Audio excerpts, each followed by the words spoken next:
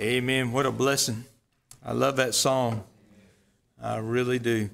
Well, I want to invite you to turn back in your Bibles once again to Romans chapter number 8. Romans chapter number 8.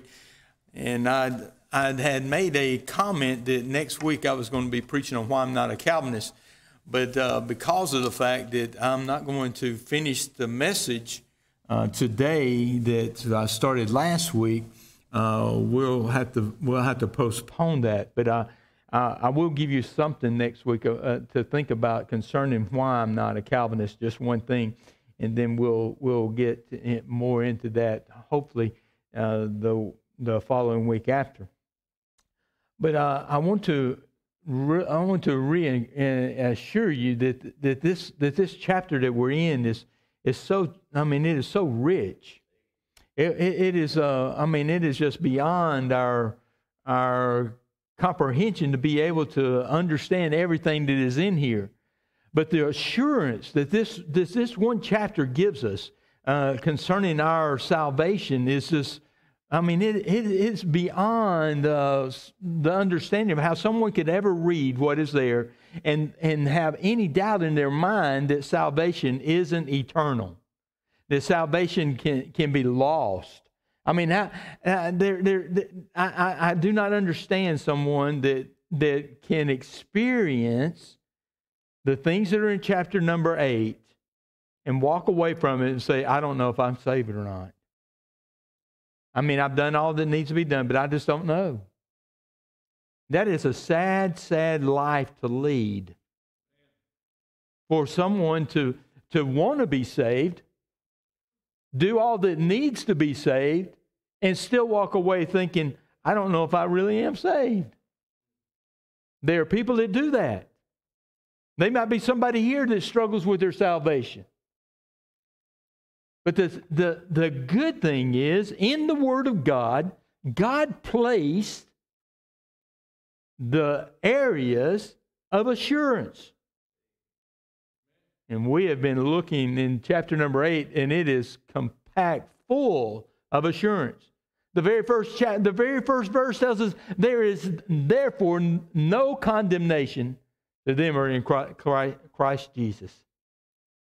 There's none. It didn't say they, they might be some. You know what I like about Christianity above all other religions?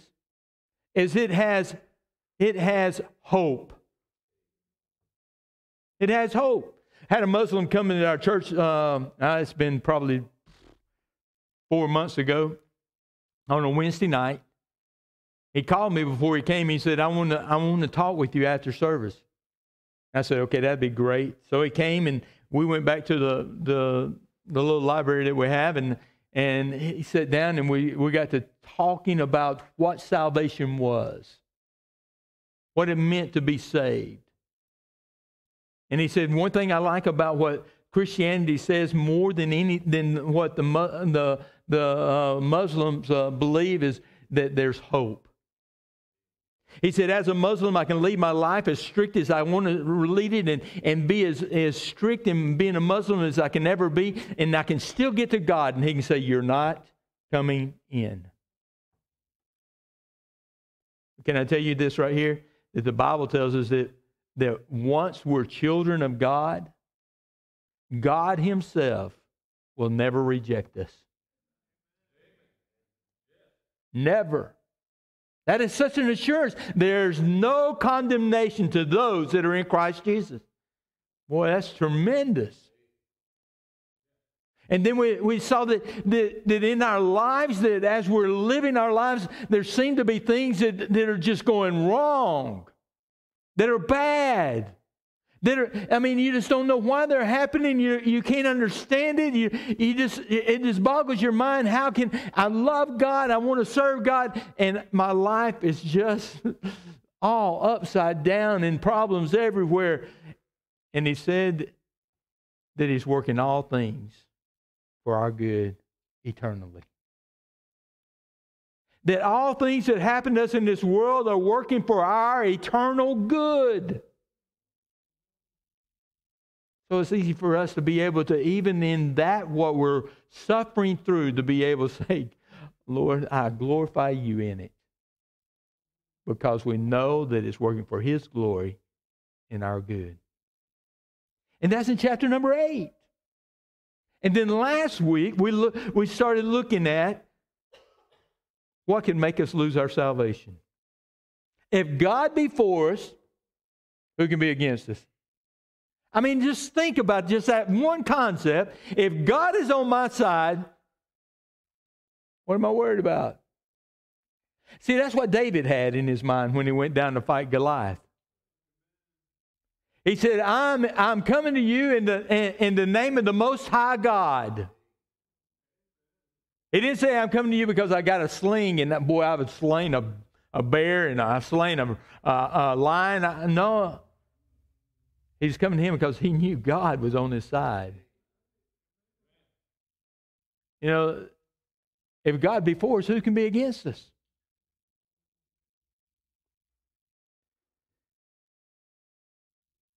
Well, I tell you what.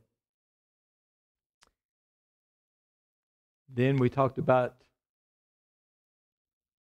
if we could lose our salvation, the very first person that would be able to do that would be God Himself. And we talked, we, we looked at that He gave that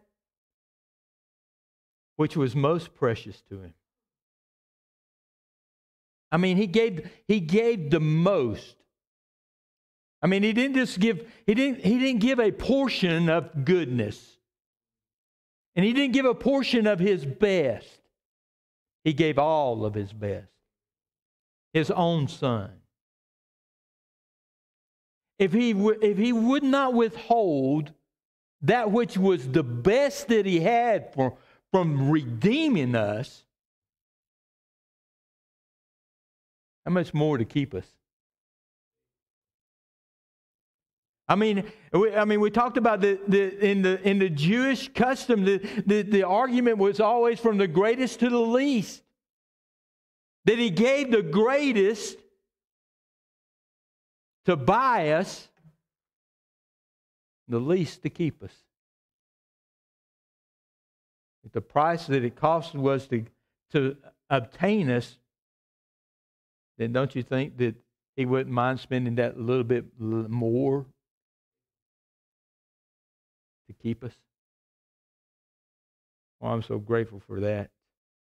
I want to re- focus your attention to the scriptures in verse number 30, and we're going to read down once again, and then we'll get into the message after I pray.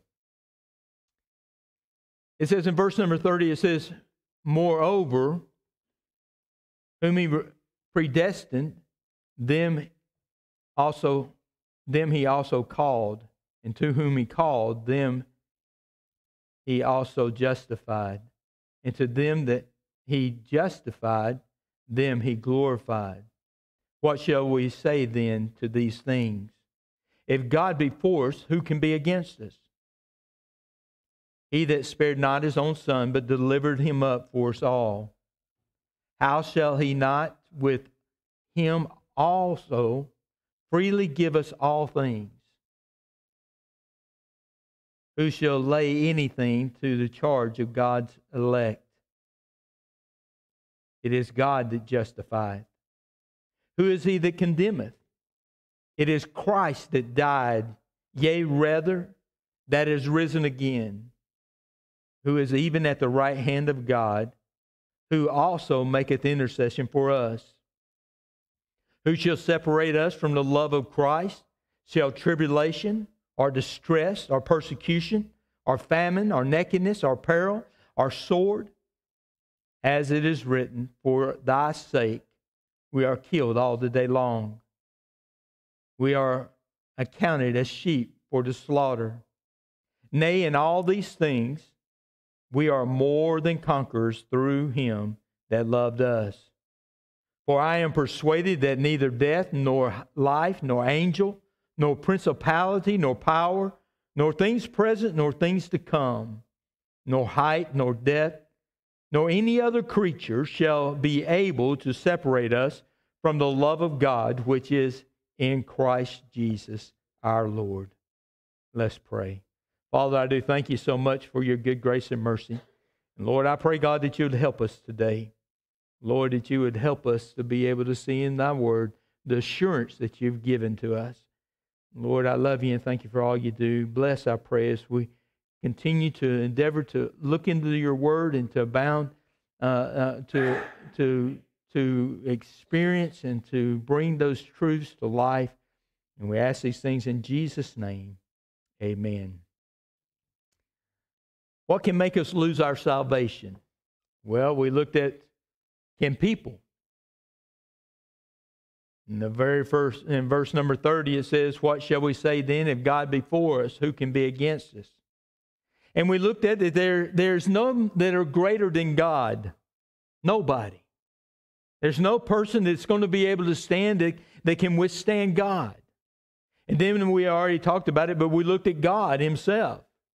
And He said, He spared not His only Son.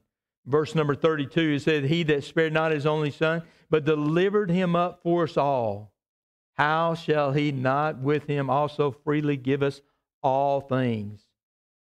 I like what Isaiah 53, verse number 10 says.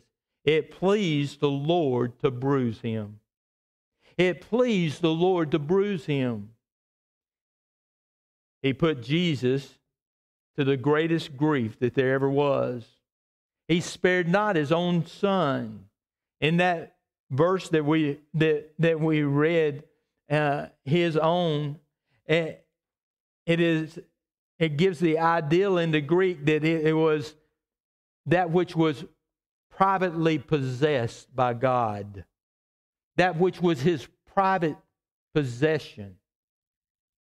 I don't know about you, but there's things in my house I don't let nobody else touch. They're mine.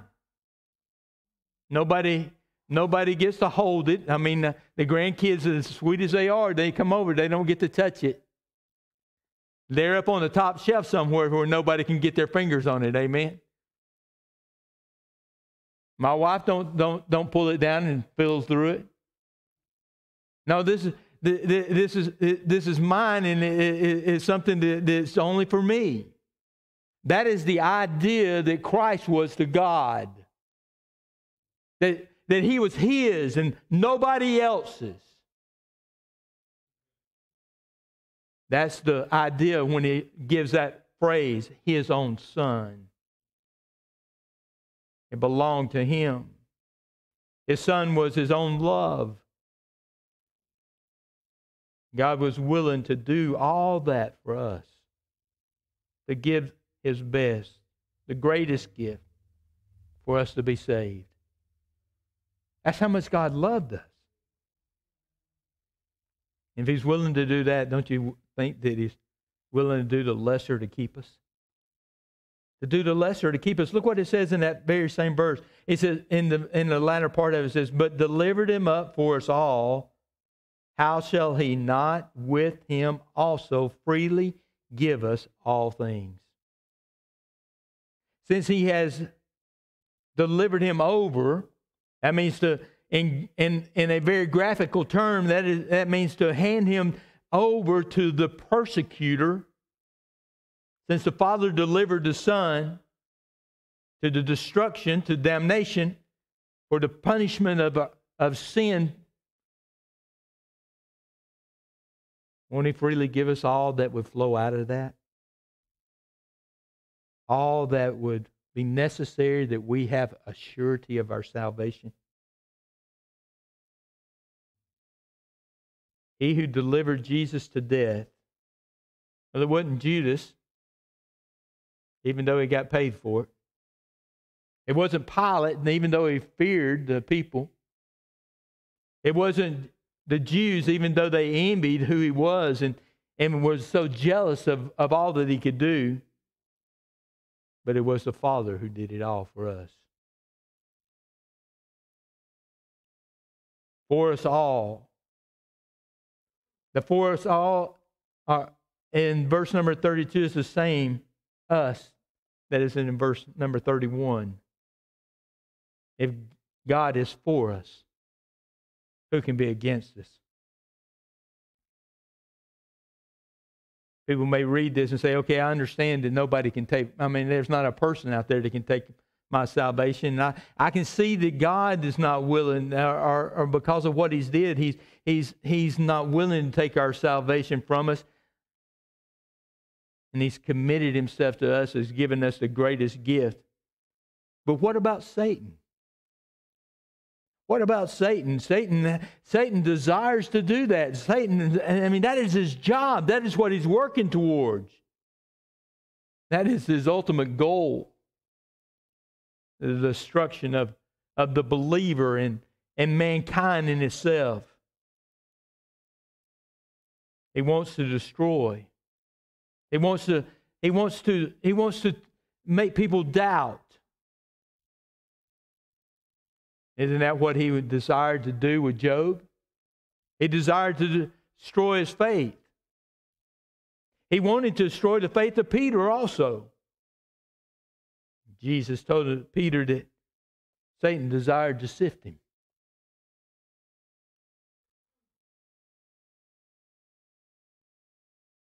When Satan went before God in the book of Job, he said to him, he said, he said, Job was only serving you because you blessed him. He's only faithful to you because you're blessing him. If you take away his blessing, he'll curse you to your face. God turned Satan loose. And Satan went, and one day, Satan removed all the animals. He killed all of them, all his livestock all of his children. Job still served God. Satan went back to God and said, If you take his health, he'll, he'll surely curse you if you take his health. And God said, Okay, but you can't take his life. And sure enough, Satan took his health. His friends came and told him just how pitiful he was and how, how bad off he was and how he'd sinned against God and how he must he just must have done something wicked. And Job lied there isolated and in agony. He had no idea what was going on, what was the cause of it, why it was happening to him. He did not even he never knew the the conversation that took place in heaven between God and Satan. He did not know the reason behind what was going on in his life. But in the midst of all that, Satan could not take the faith of Job away. He could not take it away.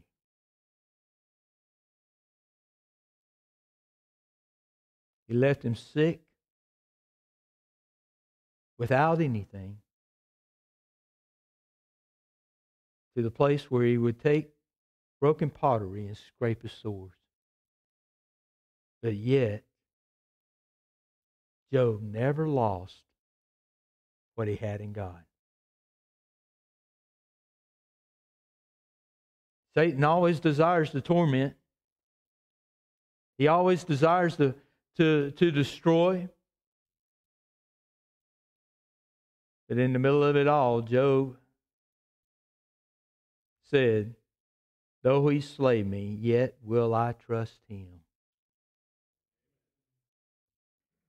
What faith.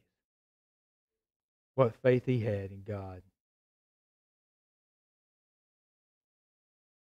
You can't kill the faith because God sustains all in the midst of all trouble. Faith is that that overcomes. Satan in the book of Revelation is called the, the accuser. In the book of Revelation, chapter number 12, he stands before the throne day and night, accusing the brethren. He is the accuser that stands there. He did it with Job. He also did it in, in uh, Zechariah chapter number 3 with the high priest. He did it with, with Peter uh, when he denied Christ. He sifted him. And then Paul in 2 Corinthians chapter number 12. He was, it was the messenger of Satan, the thorn in the flesh that he had. And God said, My grace is sufficient. Satan is the accuser of the brother, and he is, he is that tormentor. And with all that in background, we come to verse number 33. It says, Who shall lay anything to the charge of God's elect? Who can lay anything to the charge of those that are elected of God? It is the exact same question that is asked in verse number 34. Who is he that condemneth? Who's going to be able to stand before God and, and, and, and lay any charge to the children of God or, or condemn any of the children of God? That is the question. Because both these questions are exactly the same. One brings a charge, and the other is the result of that charge condemnation. This is what Satan desires. This is what he does before the throne of God day and night. He, he accuses the brethren before him. The question is can he succeed? Is he able to be able to make a difference when he does this? Well, the answer is in verse number 33. At the very last part, it says, It is God that justifieth. It is God that justifieth. God is the one that justifieth, and literally, what it, in the Greek, what it says is God, God is the one justifying. A continual justification on our part. God only condemns, and God only declares righteous.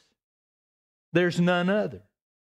If God declares us righteous in Christ, He can't, with the same degree, at the same time, declare us guilty in need of judgment. You know what the great thing is about this? There is no other court of repeal. There is no other higher court to go to. Satan always tries to bring a case against God's salvation, God's elect, God's love, God's declaration, God's righteousness, and God's judgment. But God has already determined his final verdict. And his final verdict is, is based upon his own sovereign purpose the regeneration of the work of the Holy Spirit by which we have the life that lives inside of us, the provision of Christ's death and resurrection on our behalf, and the active function of faith on our part that brings us to salvation. That is the point that's given. There's no higher court than God. There's nobody that's going to that they're going to appeal to. He is the ultimate. Because God has said it, it is final. The verdict has been made. It is God that justifieth his people, and no accusation from Satan can stand against them. Aren't you grateful for that?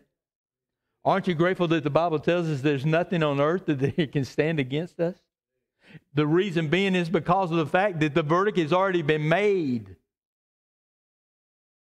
God has already declared those that are in Christ Jesus that they're justified. Justified. This ought to be this right here ought to be total assurance for the believer.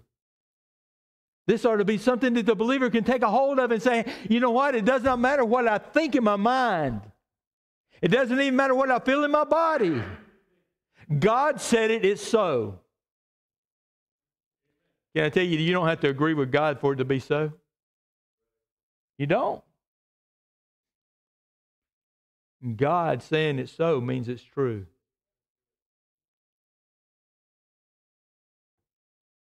Sad thing, I know that in that in the world that we live in today, we've heard the prosperity preachers Say that Jesus wants you to be happy. wants you to be healthy, wants you to be whole and, prosper, and, and prosperous in every sense of the word. Funny to me that it, that wasn't so in Job's case. Wasn't even so in Peter's case. And it wasn't so in Paul's case that, he, that he suffered with that thorn in the flesh all the days of his life and under bountiful suffering.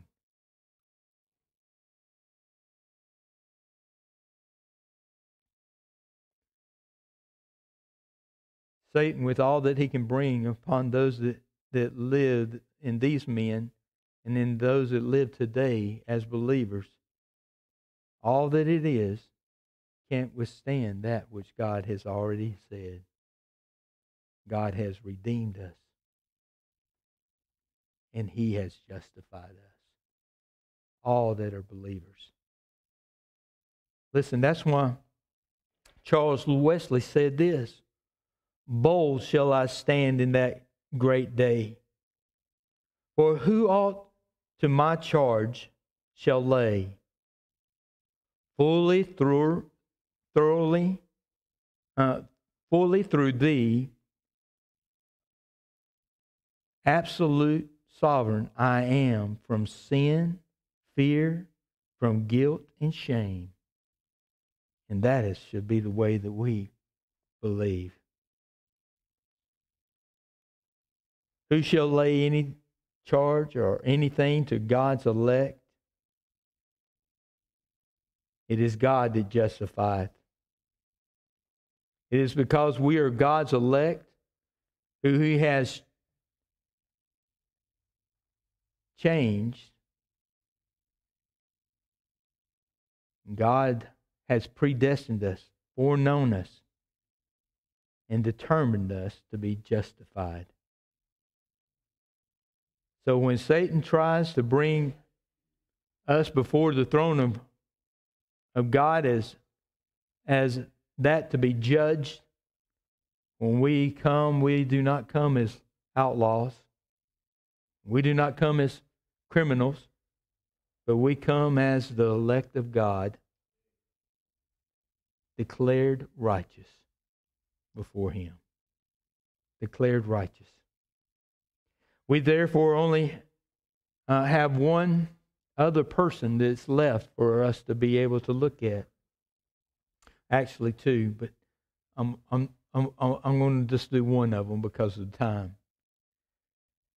For us to look at, and that is Christ. What about Christ? Could, could he give us up? Would he turn us over? Would he say, you know, I, I, I don't desire to be your Savior anymore?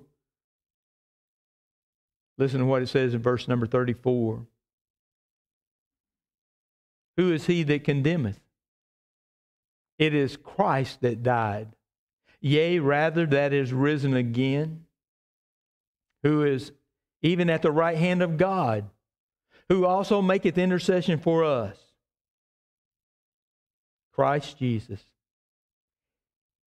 Is he going to condemn us? Listen to what he said. He died. He was risen. He's at the right hand of God. And not only that, he's making intercession for us. So Christ that died for us, is he the one that could separate us? The obvious point is no, if he died for us, why would he turn around and separate us from God? When he died to receive us and made the full payment of sin on our behalf, took away all of our guilt, placed it upon himself.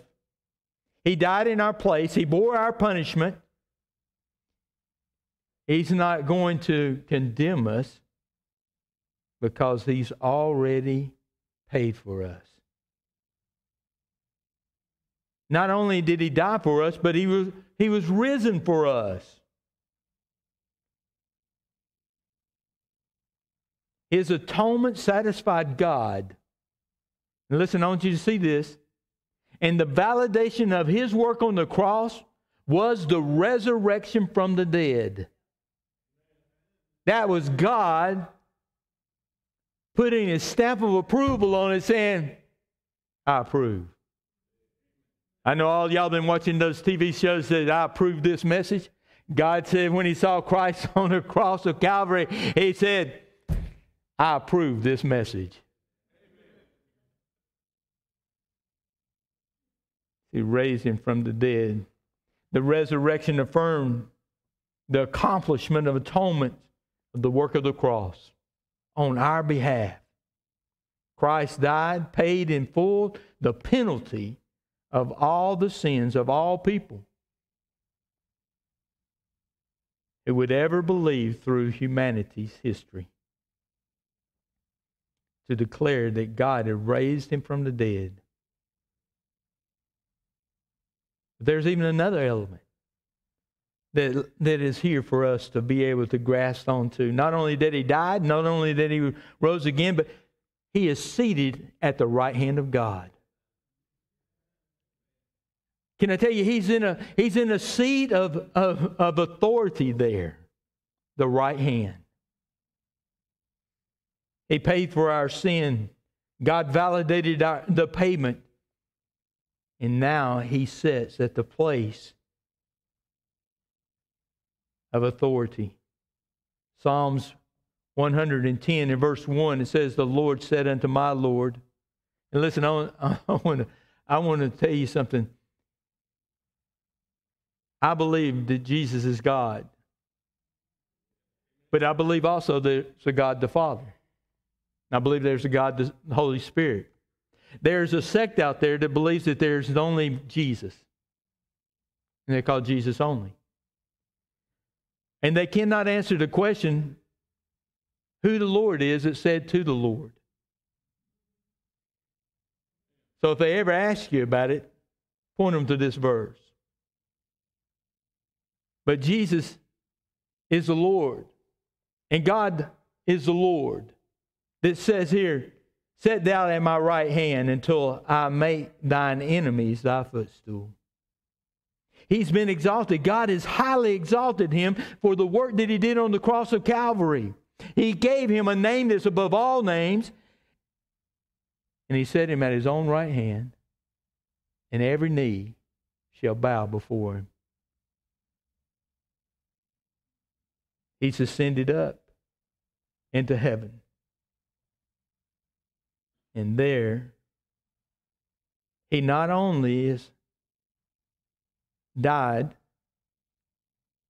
was resurrected, and exalted, but listen to this. He is making intercession for us.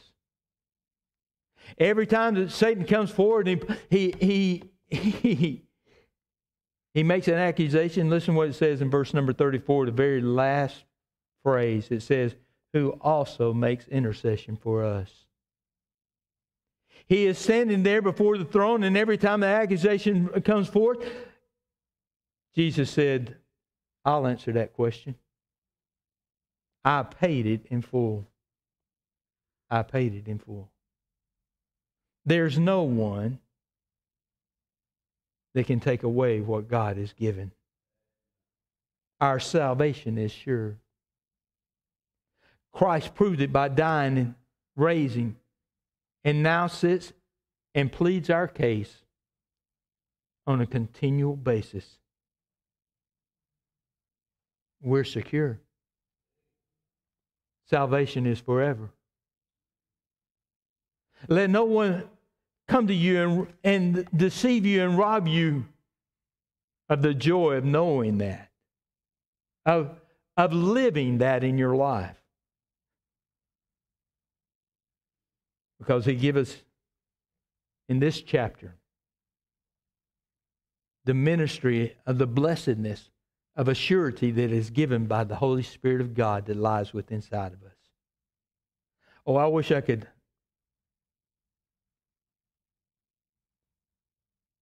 continue to finish this little portion out. But there's one other person that, that stands there that I'm not going to cover, but I want to give it to you anyway.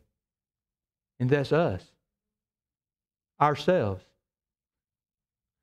Can we ourselves take away our own salvation that we receive? We can't. Those who are truly believed of God, they have the Holy Spirit of God that lies inside of them. That bears witness with them that they are children of God. He said he never leave you nor forsake you. You know what that really means? That really means that you can't get rid of him. I mean, in Corinthians, Paul went as far as say, Don't you know that, that your body is a temple of the Holy Ghost, which you have in you, which you are of God, and you're not your own? I mean, he declared that what you have, you're never going to get rid of. And they were carnal Christians. I mean, they were pitiful. You don't believe it? Read, read 1 Corinthians. I mean, they just, they, you, you would think God, God surely killed them. He did some of them.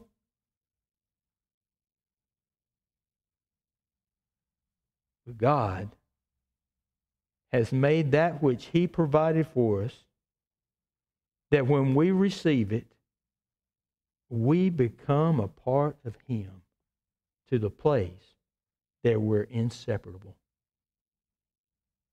How tremendous that is. There's nobody that can ever take away our salvation.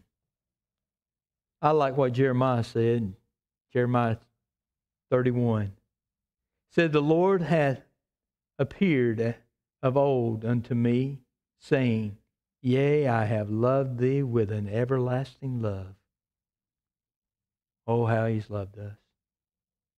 He didn't just say he loved us, he proved he loved us. And then he didn't just prove he loved us by dying for us and being risen again. He gave us an earnest of that love, the Holy Spirit of God. Oh, what assurance. What assurance. Let's stand together. Father, I thank you so much for your great love, and your goodness, and your grace, and your mercy. And Lord, I thank you so much for what it's been pinned down here in chapter number 8 to reveal the assurance of that in the life of a believer. And Lord, I pray that you would have your will in our lives. And Lord, if there's one here that, that doesn't know you as Savior, or one that hears this and doesn't know you as Savior, I pray, Lord, that you would help them, Lord, to, to, to, to see your, your goodness, your kindness, your, your mercy, in the Word of God to receive you as that one that will never leave us nor forsake us. Lord, I pray you'd have your blessed will in our lives. We love you and thank you for all you do for us. In Jesus' name, amen. Brother Jeff, what we're going to